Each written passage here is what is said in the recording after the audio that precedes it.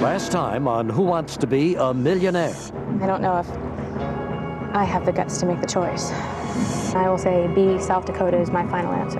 You're right for $32,000. I know the final answer is D, Rhode Island. Just $164,000. Four away from a million, no lifelines left, and if you miss here, you lose $32,000. Who is the heroine of Shakespeare's Twelfth Night?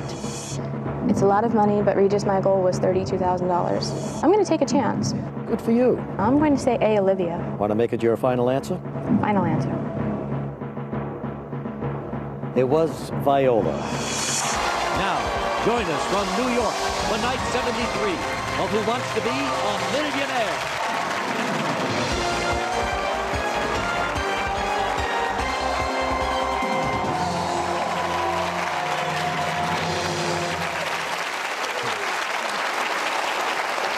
Very much, everybody. Thank you. Hello again, and welcome to Thursday night at Who Wants to Be a Millionaire. Well, as you just saw, we all loved Tracy Tariska, a wonderful, gutsy school teacher who took a chance but missed the $125,000 question and left here with $32,000. And we have another gutsy contestant, Matt Murray from Los Angeles, who went all the way. He deduced the heck out of the $64,000 question, got it right, and so he is back and in that chair and going for $125,000. Good evening, Dr. Philbin. Nice to see you, Matt.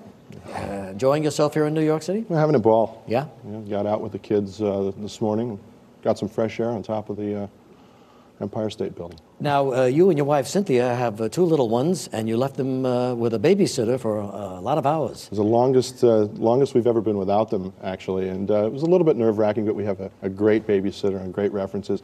And actually, we're a little bit more relaxed now because uh, sure. we feel like they're in good hands. Sure, absolutely. Did they take in any of the sights? just this morning, last night when we got back, little boy Evan was bouncing off the walls. Uh, both from excitement that we were on the show and I think from a half a bottle of apple juice. So, uh, uh, and the, the, little girl Aislinn is her six month birthday is tomorrow, and she was asleep. Oh well, sure. Little guy get up to the Empire State Building? Yeah, he loved it. Oh, he wanted to know where you live. One of those houses down there. All right, Matt, you have won 64000 You're just four questions away from winning $1 million. Mm-hmm. You still have two of your lifelines to help 50 50, and you can phone a friend. So, um, kind of exciting right now. Four away from a million. You ready to go here? Take them one at a time. Regis. All right, good enough. Shall we do it, audience? Let's play. All right, let's go. Who wants to be a millionaire?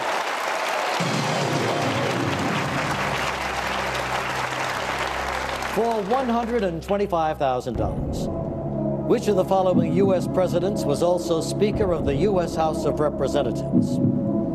Gerald R. Ford, Woodrow Wilson, Lyndon B. Johnson, James K. Polk.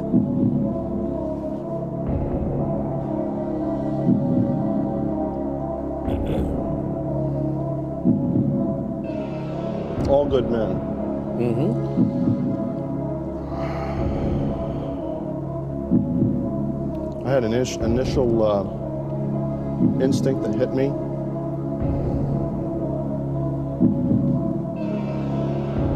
I'm I'm pretty sure I'm right on this. Uh, Spiro Agnew left office in the Nixon administration. Yeah. something with taxes or something? I don't know. But uh, he was replaced by the Speaker of the House, as far as I know, or he was chosen, memory serves, by Nixon to be a vice president. And so when Nixon left office, uh, Ford had the uh, daunting task of being uh, mending the country a little bit, mm -hmm. keeping us going. So that's where my mind is right now. Uh,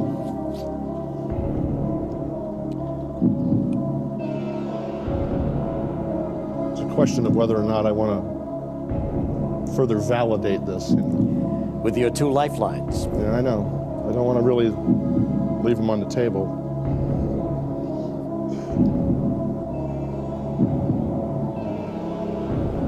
Then again, I don't know if we had a Republican Congress majority in 1972, 68. So I know the succession, and I don't really know uh, for certain. So, for clarity, and to get some more information, we're going to do a lifeline. We're going to we're going to do the 50-50. Narrow it down to two. Yeah. Let's Maybe do that. help me out. All right, computer, please take away two of the wrong answers, leaving Matt one wrong answer and the correct one.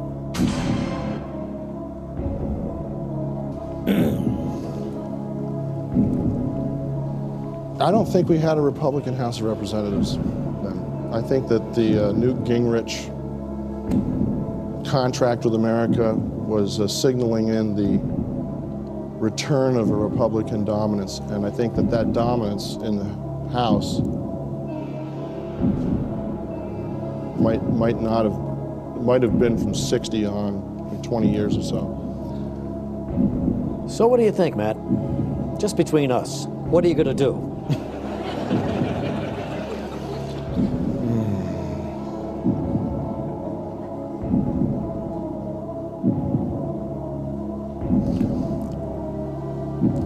I'll phone a friend. No kidding. Who do you want to call?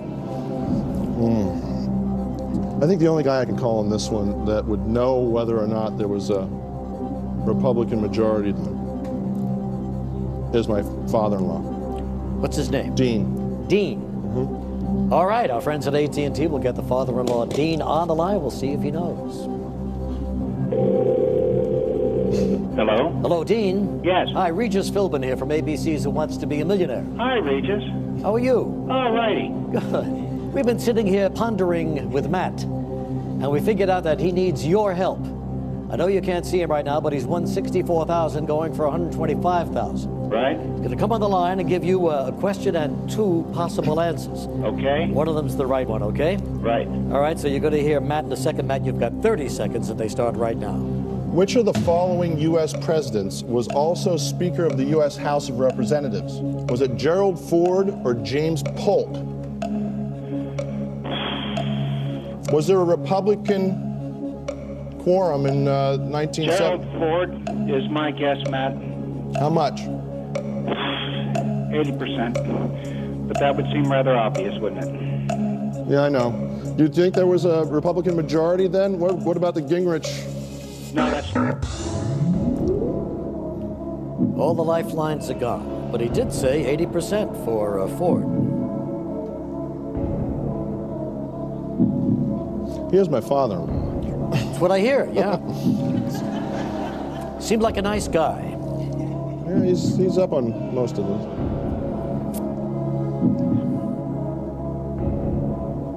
I'll bet the kids are wondering where you are.